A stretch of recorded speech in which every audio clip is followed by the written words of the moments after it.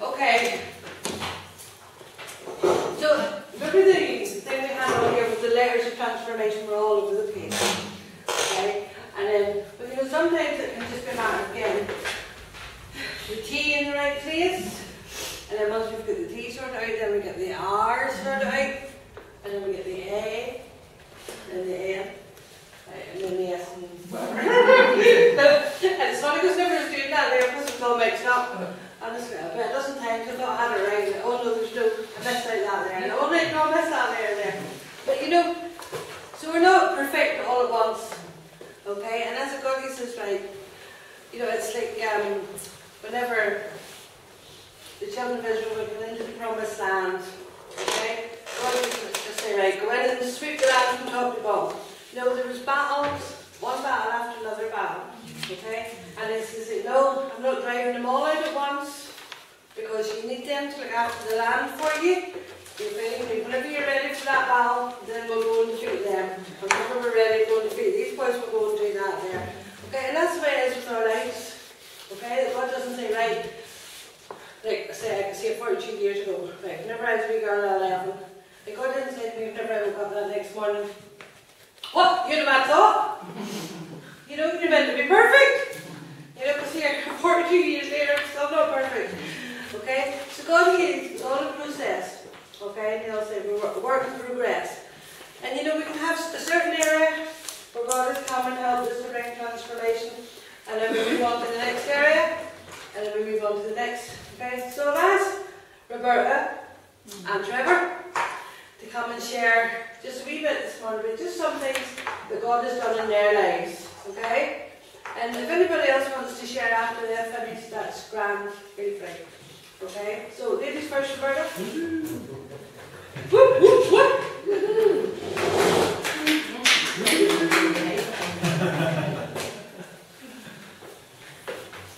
Thank you. So, well, thanks.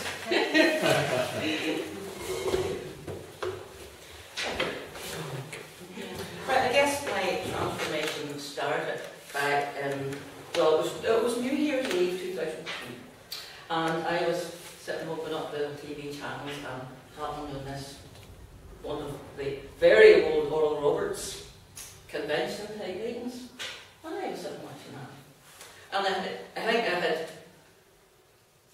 prayed away a number of years before that, but never really lived out.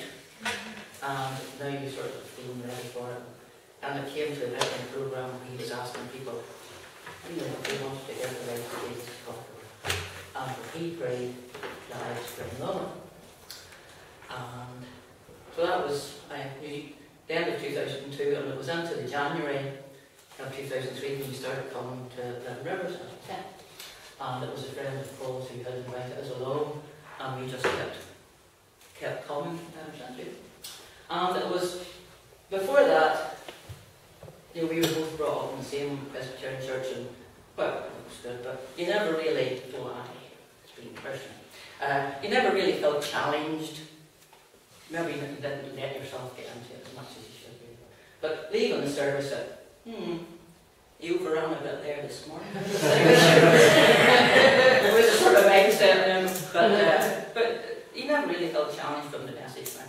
Um, so started coming here, and you know, you, you went out thinking about what you heard and you discussing and everything, and hearing that God was a healing God. And you know, we used to pray, you know, if you were thinking of someone who was ill, if it be your will. But then you, you learned that it was God's will to heal. And we sing one of the songs here about you know, uh, you came and redeemed me. Like that. But anyway, fast forward to it was 2007, and I had been for a regular mammogram, and I got letter back saying for a recall. So I was thinking there's nothing, nothing to it. And we started walking into the doctor's office, and I guess it was my X-ray was on the screen, and he sort of sort of shadowy thing.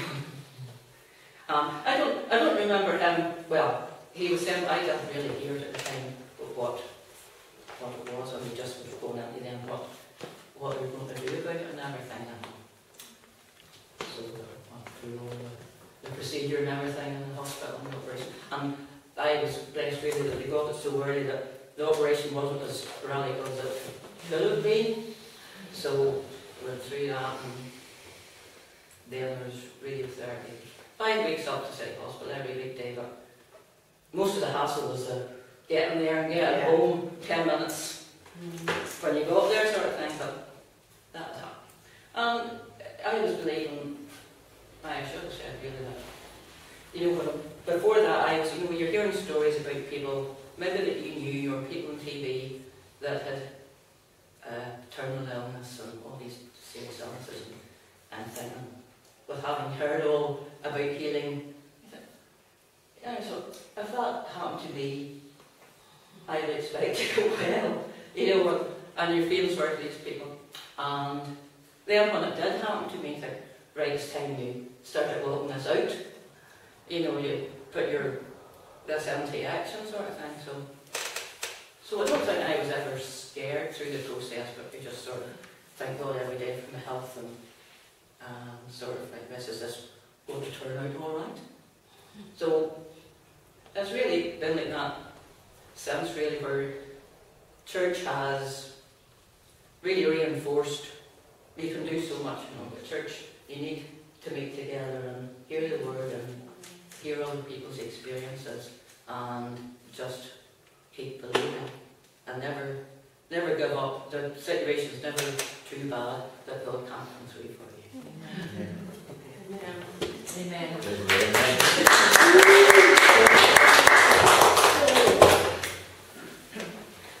Uh, it really is one of them situations, you know, and it's for a lot of people. Like, um, know, I remember speaking one day years ago in a ladies' meeting, and a lady had given a testimony of a similar experience and having gone through. And um, I didn't know that she was testifying that night, and what I was speaking on was the verse where it says the His grace is sufficient for you. You know, and sometimes you can't think, oh my goodness, if that was me, how would I ever cope, or what would I ever do? But whenever we're in that situation, and especially if we've been taught the word, okay, well then it's His grace, like Nigel was talking about yesterday, just that strengthening and that enabling rises up in us, okay, so that we can stand and say, right, no, you know what, I'm the one in authority here, this is not taking over my life, you know. But it's like if we don't know that, well then sometimes people, you know, have gone down, okay, but we need to stand and fight, I tell you, it's good. Okay? Mr. Ashcroft? I might get I off the right way, that's right. Yep, go ahead. Around.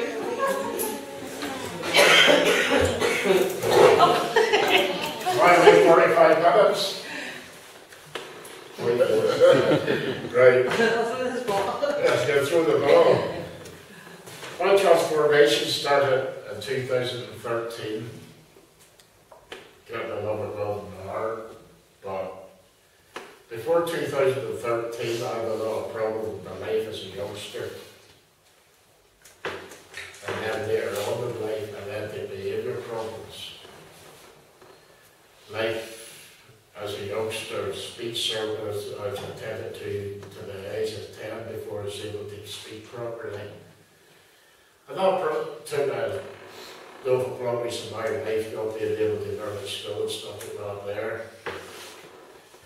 And life on, and as I grew up with a marriage, and then there was a, there was a daughter came along first year of our marriage, uh, wife fell pregnant, and I believed that I wasn't my youngster, and I've only seen that youngster once to this very day. And that took, being brought up in a Christian home, that took a lot, a lot of pressure of anger, resentment, hatred towards the world, hatred towards the parents. Why did this happen to me? Why did that happen to me? And I didn't really want to walk with God in any shape or form. I wanted to trust in God because of all that brokenness. I couldn't find a healing power in my life. And I walked away from that marriage and it was hurtful, it was sore, proceeded over to Scotland that after nine years of sleeping rough in the streets of Edinburgh. And out, all out and the streets and, and hostels and got a house with. Um, I lived a simple life, a evil life of destruction. Even life, worldly things in life I was leading.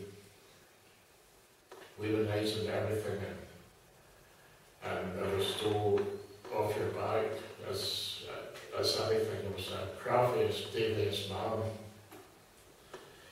Um, I came back over here in 2005 and never lost my life changed. I was slow, I was hard. I was out of the beach house from time to time in Rosemary with no my behaviour problems, my anger, and nobody could talk to me. I was like a wee lost youngster. Tried church, tried going to church, tried coming here and tried to listen and I was difficult. There was no movement of the Spirit or anything, no movement of the Spirit of God to change my life. People have seen no hope in me whatsoever. It tells me as tell them now, no future. Not one for old down jobs or anything like that there. Then of a sudden, in 2013, I started crying to God. Many times I was a police cell.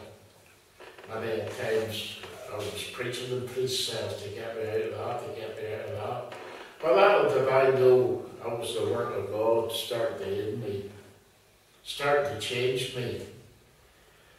And whenever I reached out to God and the lowest depths of despair, He dramatically changed me. I don't know whether I have got much of a testimony, I think I have. 2013, my wife came along, Haley, and I was ready to go out to start drinking again through a break up another relationship which wasn't good for me. Everybody who she was from Brazil. And uh, I was with that woman from Brazil for seven years and the lady came along. And a night after I her to the church Christmas dinner. Just second choice at all. I was totally lost, so I was already a ticket paid for. And I've been with the ever since, since 2013. Um, I don't know what the way to describe that. God has really touched me, changed my life around. I honestly believe I'm able to set free because I'm no longer in trouble with the police. Pastor Roy taking me to court and get me a breakfast and me thinking I'm going to the jail and you remember them days, Pastor Roy? I'm no longer worries like that. I've not had a day of sickness since I changed my life to God. Not a day of sickness. And it's a miracle that I'm standing there. I should be dead today with the lifestyle I was leading. I was told I would see 58. Well, I've reached that stage now, I feel it's something 21. And it's a great way of living. What I went through in life, I wouldn't recommend it to anybody. The lifestyle I led. And it's totally a miracle that I'm set free and be transformed into His likeness and into His image. I don't get it right every day. I still smoking out there. But I'm not doing things in the world I used to do. The nights of going and gambling and betting nurses and stuff like that there. Totally away from all that. Today, I can show people love. And I showed a man love there yesterday. I think he showed love because the woman there says, and get on your night. Held my hand and I was totally embarrassed walking up to the church floor and I'm holding my hand and I'm so drunk. And I never seen the likes of that. That's the way I used to be. Only I wouldn't have done it in the streets of Ballymena. I would have went to the likes of Edinburgh, Glasgow, or London, wherever they do it, because I wouldn't display the stuff they do here. And their need to get away from that is a blessing, it's a miracle. And I just want more of God's Spirit each day, every day live. Just to be calm and peaceful every day. I don't get it right every day. It's across last week, and I really couldn't get up enough. Fighting the Housing Association. And they weren't going to fix that, but I got it fixed. Because I had a lot of phone calls made. But I was cross-border and shouting. They lunatic in the backyard, and the back of where we lived are, the back of Carpin, or ground floor, yard, whatever they call it. I don't want to be the that anymore. I want to be calm, at peace with myself, and set free through to the glory of Jesus. Thanks. Amen.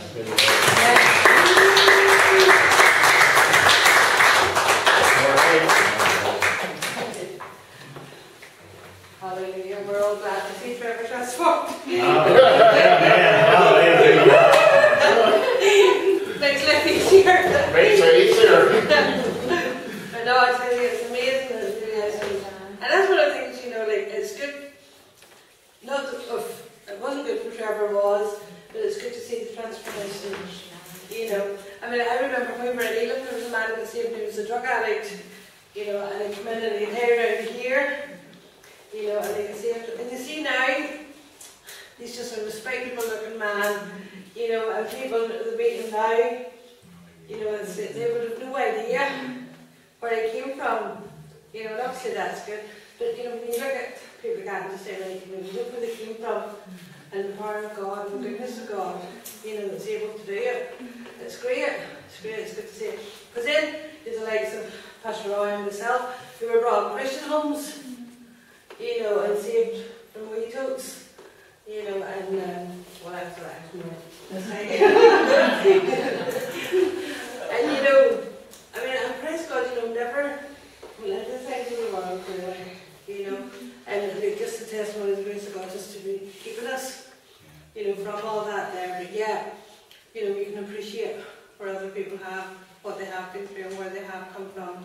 And you know, I can remember sitting in Needham one day and there was a fella that came to it and he was an alcoholic, you know, and he would come for a while and then he would go off again and then come back. And one Sunday morning, he was, sorry, he was a couple of rows behind me. And he got up then at the time of open prayer and worship, able to stand up and just pray. And he stood up, and again he was thanking God for saving him, you know, for bringing him back this time, you know, and off the drink and all that there. And, you know, I always kind of felt for him because I said, Lord, he needs to realise, you know, that salvation for him, the price was the same as it was for me, you know. And in that morning I just kind of thought that there. But you know what, then it really hit me, you know. And I sat and I cried and cried and cried, you know. And I said to God, even as a wee girl brought up in church, you know, never involved in anything like that there. But yet to God, I was as guilty and vile a sinner as what he, you know, as he was, as anybody was, you know.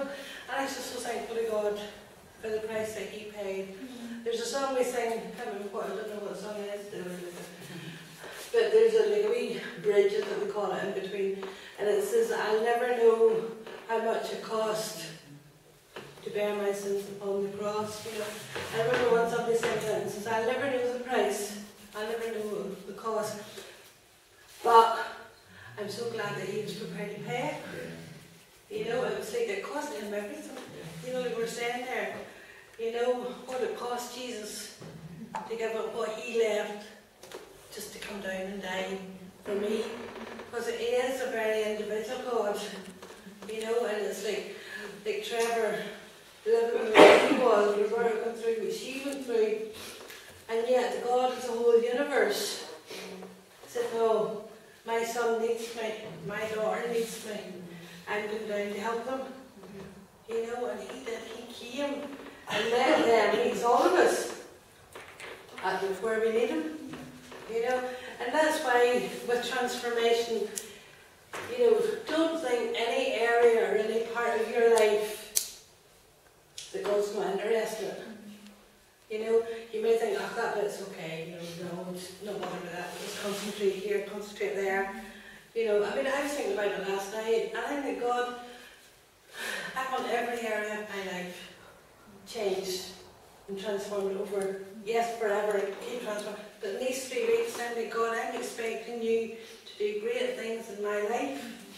You know, because no area, no matter how good it is, there's always more.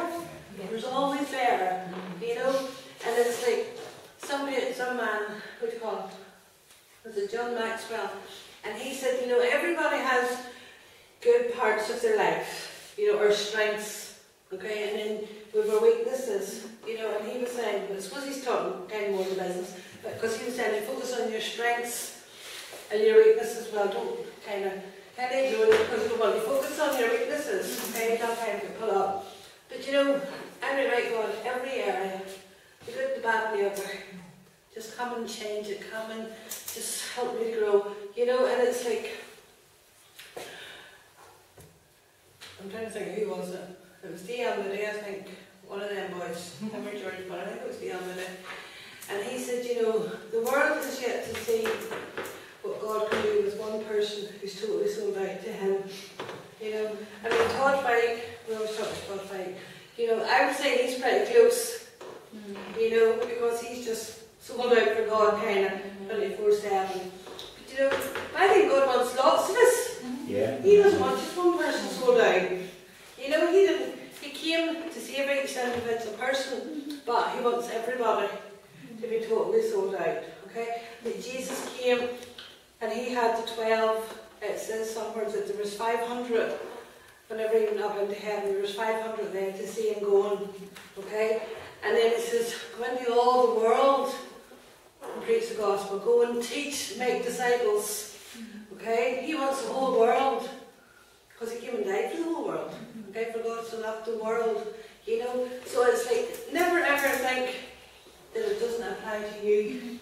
Never ever think you're not good enough or you're not one of them ones. Okay? This is for everybody who wants it. Everybody who wants it. I remember in St. Kings, is it? St. Kings 4 or 5, where the city was sieged, I think it was Samaria, you know, where the enemy was camped all around them, okay, and nobody could get in and out of the city. And the city was now, they'd been locked in for so long now, they were starving. Mm-hmm. They were starving. And, you know, there was no food, you know, they were even bird dung, okay, they were horses' heads, okay.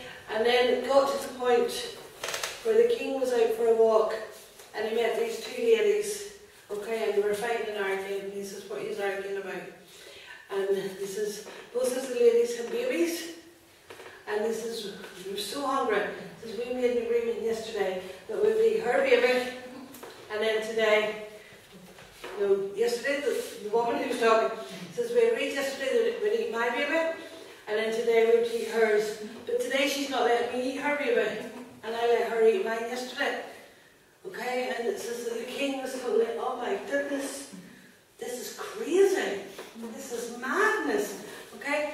And then the prophet come Elijah, and he says, tomorrow, he says, God's going to step in and there's going to be enough food.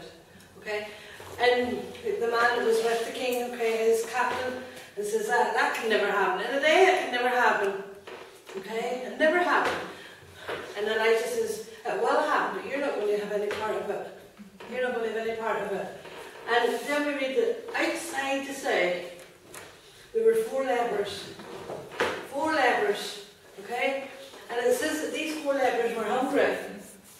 Okay, they were hungry and they were sick. They were sick. But you know what? It's their hunger. Because their hunger made them act. Their hunger made them go out and do something. Okay? And they said, you know what? We sit here any longer we're of hunger. And there's no point in opening them gates and say, because there's nothing in there. And it says, you know what? The enemy's up the road there. If we go and see the enemy, they may take pity on us and feed us, or else they'll kill us. But hey, we're going to die anyways. Okay, so they just put us out of our misery and kill us, or else they'll feed us. And this says, come on, we'll go and see. Okay, so their hunger made them get up and do something. Okay, and that's the thing. We're hungry for transformation, we're hungry for God, it'll make us do something. But sometimes people say, oh, I wish, I wish, I wish I would love to be like that person. I would like to be like that there. Oh well, you know, don't do anything. But you know, those four men, they got up and they went to the enemy's camp. But you know, God had gone before them. God had gone before them. And the enemy had ran during the night. God had made them hear noises. And they thought, right, somebody's coming, so they get scared. So up they got and ran. And they left everything. They left an abundance of food. They left an abundance of everything. And these four wee men got to the first tent and looked in and saw food. And it was like, oh my goodness, great. We just picked the right tent. There's nobody about. And they sneaked into the tent and sat and stuffed themselves. And then it was oh, this is great. And I was like, it's quiet. You know? And then maybe sneaked into the next tent. Mm-hmm. And it was empty too. And all the food and everything there. Turned around, had a look around, and there was nobody inside. But there was food everywhere. Mm-hmm. You know, and they sat down and they ate, they ate themselves silly. Okay, and then eventually was just lying there, just, just in lying there stuffed. Oh, you that's great. But then somebody spoke up and they says, you know what? What we're doing is not good. Because down the road there, there's a city that's starving. Down the road there, there are people who need what we have. Down the road there, are people are dying. Okay, eating babies.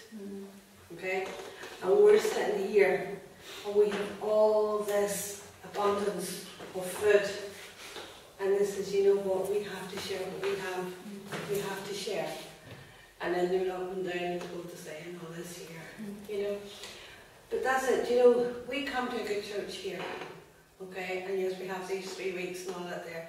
But you know, we are well fed. We are well fed, you know, and there's people out there who are starving for what we have, you know. I mean, like that there, the city was here, and the enemy was just outside the walls. It was close. It was close. But because it was the enemy, they couldn't go out. But you know what? We're not these people's enemies. We're not their enemies. These are our families. These are our friends. These are our Ballaminians that need us. You know? So we have to say, you know what? What we're doing, keeping this all to ourselves, is not a good thing. It's not a good thing. Okay? But yeah, sometimes we're just like the letters at the beginning. And to say, you know what? We could go to the enemy and see, but you say, oh, I'm scared. I'm too scared. Oh no, too. No, you know, they're a bad bunch. You know, and we can sit and say, no, it's not worth the risk. It's not worth it. My family laugh at me. You know, people, I go and say to her, you know, about God, she's going to shut the door in my face, so she'll never speak to me again. You know, or he'll laugh at me. You know, but we just need to be bold and believe in what we have. To believe in the truth that we have. It was, I was speaking to the children yesterday morning and sharing with them a story that Jonathan Edwards told us on Friday night down in Portrush. And, um, well, it's a true story. Somebody told him it was a testimony type thing about a woman with her seven-year-old daughter. And America, from America, because he said it was a mall. He said it was a mall, they were in a mall. and um, but the wee girl says to her mummy, says, Mummy, you see that lady down there? You know, and the lady was obviously in pain. I think is she did one of these wee walkers. But um, the wee girl says to Mummy, Jesus is with that lady. Says, I see Jesus with that lady. And the mum says, all right, okay. And they went to keep going. And, um, the wee girl says, no, Mummy, we have to go and pray for her. We have to go and pray for her. Says, all right, okay. So took her down and introduced themselves to the lady and says, and the wee girl prayed for her. You know, and the was instantly healed. You know, you know, heaven. You know, like if the mum had looked down the she maybe just would have seen the wee woman wearing a walker. You know? But because children have an open mind, you know, and if they know, they haven't, they don't want them to learn it, but it's like they haven't learned to be afraid of people. You know, and it's like, I know, you know, we just need that childlikeness, and say, right, you know what? God says, I lay hands on the sick, they will recover. That God says He will supply all my needs. So if He tells me to go somewhere and do something, He's going to provide everything I need. You know? And I mean, it's like, this is for whosoever. It's for everybody. So never ever discount yourself. Okay? And never ever say, oh, I wish I could. Like we looked at the Apostle Paul there. You know? Paul could have and says, how can I go to this city down here and tell them? Mm. You know, like he was up in Damascus. Like, to get out of Damascus, you know, he had to sneak out over the wall at night in a basket mm. because they were trying to kill him. Mm. You know, and the thing is, when you think about it, who would want to kill them? It has to have been the Christians. Mm-hmm. You know, I mean, that was the love that was flowing at that point in time. But they had to let him out over there in a basket. Okay? I remember it was the other boys because they had it changed. You know, but anyways, he had to sneak and then they come back to Jerusalem. You know, and the believers there, don't think so, don't think so, don't believe that boy. you know, because then it says that Barnabas, Barnabas, okay, he email, and then he had to come and say to the rest of the disciples, he's okay, he's okay. God really has done a work of transformation in his life. He is a new creation. Okay? He's not the old person he used to be. He is transformed. Okay? And then eventually they accepted him in. You know? And that's the thing we're, we're going to have to watch for whenever people do come into our church. You know, people that maybe some people know, some people don't. The people who don't know, oh, that's wonderful, that's glorious, that's great, yeah. And then other people who don't, but, you know, but you know what? The blood of Jesus cleanses from all sin. All sin. You know? And we have to rejoice. Like heaven rejoices over any person who gets saved. And that's where we have to be. Okay? Because I tell you, God, if God is going, if when, and He will add to this place, okay? All sorts. Mm-hmm. All sorts are coming in. Mm-hmm. All sorts. And you know what? We always have to remember, you know, that God can transform anybody. Mm-hmm. But Jonathan Edwards, he was speaking in that verse on Friday night. You know, if any person be in Christ, they're a new creation. And I thought, Lord God, that is where our transformation starts. As soon as we get saved, that is the biggest transformation that will ever, ever take place in our lives. Okay? We have become a new creation. And they say that that means it's like something that has never ever existed before.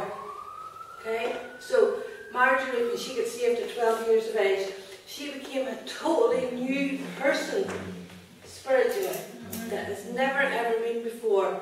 Okay? Years later, when Susie gets saved, she becomes totally, totally new person. Everybody in between.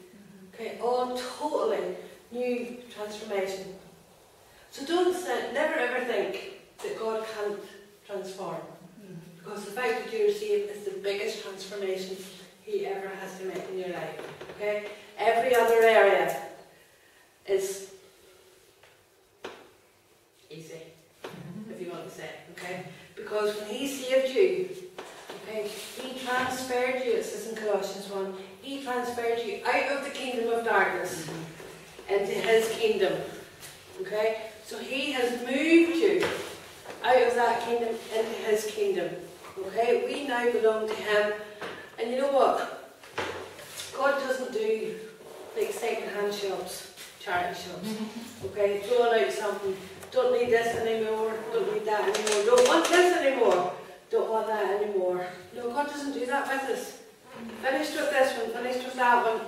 Had that long enough. No. New day, new person. No, don't want him anymore. Don't need her. No. You know, no, we're saved. And God is going to keep us forever. Ever, forever. You know? So it's like whenever we hear people coming in and saying, God's doing something new, God's wanting to take us new places, don't think, oh, my day's over. No, I tell you, doesn't matter what age we are, we're only getting started. Mm-hmm. We're only getting started. You know, and God has got so much ahead for us. Mm-hmm. You know, so I tell you, be excited. be excited about this transformation, okay? Because it's like I said there the beginning, it's for improvement, okay? But it's also for increased effectiveness. Okay, you missed that one. the. It's a good one for the church and you were out the door. you know, where it says transformation in an organisation, I know church is churches, okay, not an organisation as such, but it says it's to take transformation, it's to take a whole new level of effectiveness. Okay, totally new. Okay, and that's what we want. Okay, because it's like right, enough of the old. Okay, what's happened? What God has done thus far? We've loved it. Thank you, Lord God, for it. But you know, He's wanting more. Yes, Okay, more He has, more, more, more, more. All right, so praise God. Did you want to say that? I would just encourage everybody just to get out as much as you can. You know, I know there's got lots of speakers lined up over the next three weeks, and um, I believe it would be a real blessing to every single. Because sometimes we're all, we're all you know, and I think you know, if you think about Saul's conversion on, on the Damascus Road, that was a very, I suppose, what we spectacular conversion. But you know what? That, that was one case that was like that, but the majority of, of, of it is lying upon line, little by little.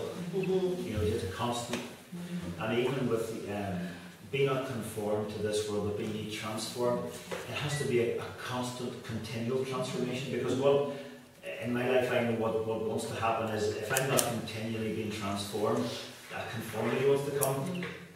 Where an old mindset wants to come back, even though I've been born again for a long time, the world still wants me to fit into this little little box, and, I, and it wants me to fit into a way of thinking. But uh, so we have to be continually transforming, continually renewing our minds, continually in God's word. And as we're continually doing that, then that transformation continues to function in our lives rather than allowing that old conformity way. And I, if you can imagine a, a little egg a little chick in this egg, and it's time for this chick to hatch out. This is what the world wants to do. It's beginning to break out so it can transform into what it's meant to be.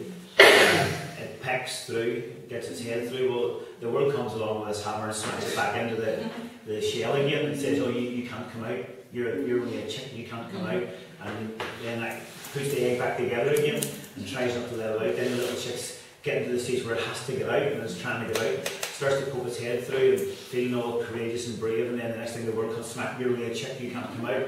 And the world wants to try to contain that chick so that it can't grow and develop into what it wants to or needs to grow and develop. And you know what? And that's the way the world uh, does. And it's not even that anybody's out there in the world, you know, trying to pick on you for this, but that's just the way the world has, has been um, manufactured, if you like. That society and the world is there to try to contain you and stop you from reaching the potential that God has for you. So just in, in through these next two which I believe will be a, a, great time for every single one of us just to really grow in God and the things of God. So just try to get out to what you can and, and receive um, little nuggets from, from every person. I was going to be a great two weeks. So, praise the Lord. Uh, so just thinking there, I'm not starting, but um, that even Jesus, you know, that Jesus was the firstborn in his family. He had other brothers and sisters, the Bible says. Okay? And it says that at one point, whenever there was a festival happening down in Jerusalem, remember they were from Nazareth and all that up in the north, and his brother says to him, you know, it says the Bible, away down, away down to see your followers in Jerusalem, you know, like start making fun of him. And he goes, no, this is not my time yet. You know, and they were like making fun of him. I mean, they really didn't believe in him. You know, and I mean, that's Jesus growing up. you know, and his family, and his, you know, the boys, the boys saying, you know, his brothers saying, oh yeah, you know. And um, but yeah, when you come into the book of Acts, okay, his brother James became one of the leaders in the church. Okay, the book of James is written by Jesus' brother James. The book of Jude is written by Jesus' brother Jude. You know, so because Jesus kept going with what he believed and what he knew God wanted for him, okay, it influenced even the unbelieving family. Okay, and then shortly after that, well then we see that they were transformed and then became mighty for God as well. You know, so I always remember people are watching us, you know, and even if they may say things, okay, we're just know stuff can be going on behind the scenes, okay, that we don't know about. Okay? But thank you all for coming. Okay, we'll just commit the morning to the Lord and Have a nice afternoon, see you back in tomorrow morning. Thank you. Father, we really thank you for this morning, God, we thank you for your word. Lord, we just thank you, Lord God, for your wonderful love for us. And God, you know each one of us, Father God, you know where we're all at in our walk with you. And Lord, you know those areas that maybe come to our minds. Dear God, for we'd love to see you work at. And Father God, for we just have to say, Lord, I know this area of my life's not right. Dear God, help me over these weeks to let you work in that area, to work in those areas. And Father God, we just lift, Lord God, we just lift each other up to you this morning. And Father, we say, Lord God, we'll not be afraid. And we're not thinking, Lord God, no, it's too bad an area, God, I shouldn't even need help in that area. But God, we just thank you, Lord God, you just want to come wherever it is and whatever it is. And you just want to help us. So God, we just say, over these weeks, Father God, help us just to walk all night with you and allowing you by your Spirit just to come to bring healing where healing is needed, even in our emotions and things of the past. Lord God, so that we can let it go. And Father God, so that each one of us can just rise up and Father God, just be the vessels, Lord God, just be the people that you want us to be. Lord God, just bless every person now, Lord God, bless everyone the rest of the day.